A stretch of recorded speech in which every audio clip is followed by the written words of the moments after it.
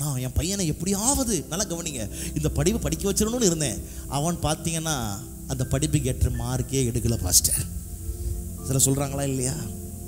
என் பல் என் பிள்ளை நான் அப்படிலாம் இருக்குன்னு கனவு கண்டேன். ஐயோ இப்படி ஆகி போச்சே நான் படி படி படின்னு சொன்னேன். அவன் படிக்காமல் மோசமாக போய் மார்க் இல்லாமல் போய் ஒரு மாதிரி ஆயிடுச்சே. நான் சொல்கிறேன் தப்பு கிடையாது. ஒருவேளை ரியலாக சொல்லும்போது மார்க் இல்லாமல் இருந்திருக்கலாம் படிப்பில் தேர்ச்சி சரியான நிலையில் இல்லாமல் இருந்திருக்கலாம். நீங்கள் யோசித்த யோசனைகளுக்கான வழிகளை பெற்றுக்கொள்ள முடியாத சூழ்நிலைகளைப் போல தோன்றலாம்.